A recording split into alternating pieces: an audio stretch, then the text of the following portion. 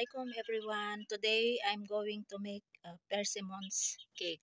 So I have uh, ripe persimmons here. So must be we have to uh, blend this one. You can put also this uh, yung skin niya.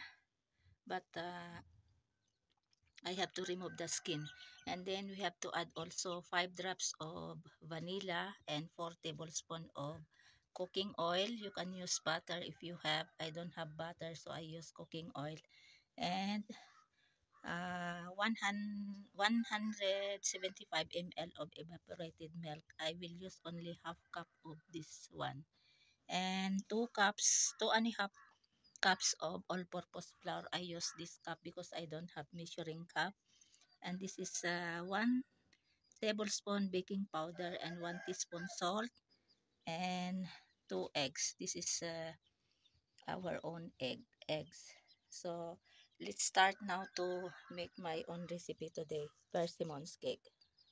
Ayan, mag-start na tayong mag-blend ng persimmons para sa persimmons cake yung ano pala, yung skin, nilagay ko, o kaya yung balat, nilagay ko yung iba kasi malambot naman. So, yung iba hindi ko nilagay. So, mas marami yung i-blend ko na balat. So, start na natin i-blend ito.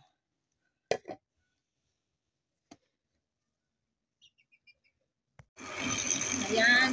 Dapat i-blend masyado para maganda yung uh, magiging cake. So,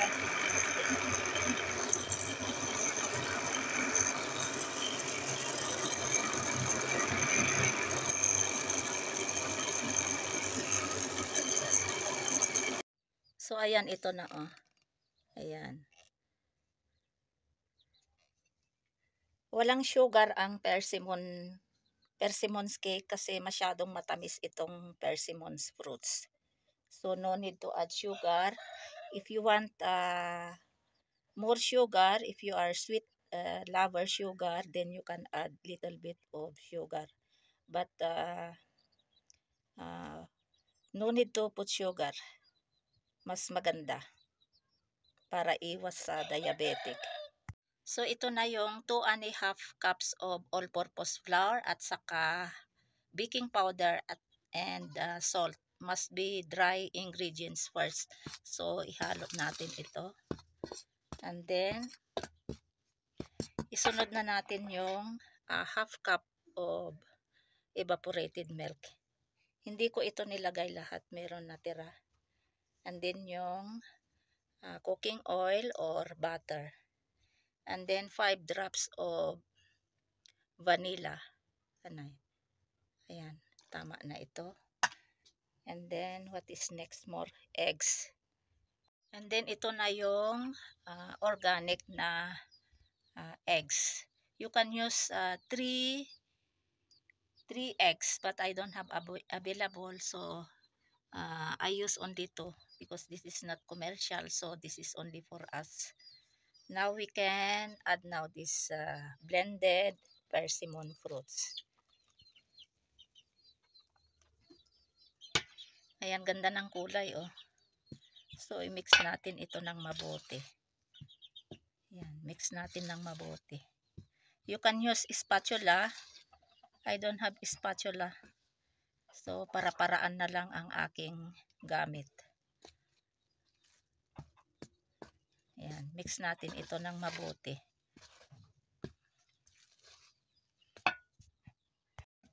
If you have uh, dried black uh, raisins or yung green, you can add also 2 tablespoon.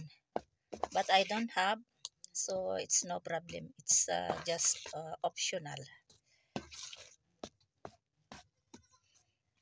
Ayan, mix natin ng mabuti. And then, ilagay natin sa tray. And then, ibibake ko din ito sa aking unique oven na may buhangin.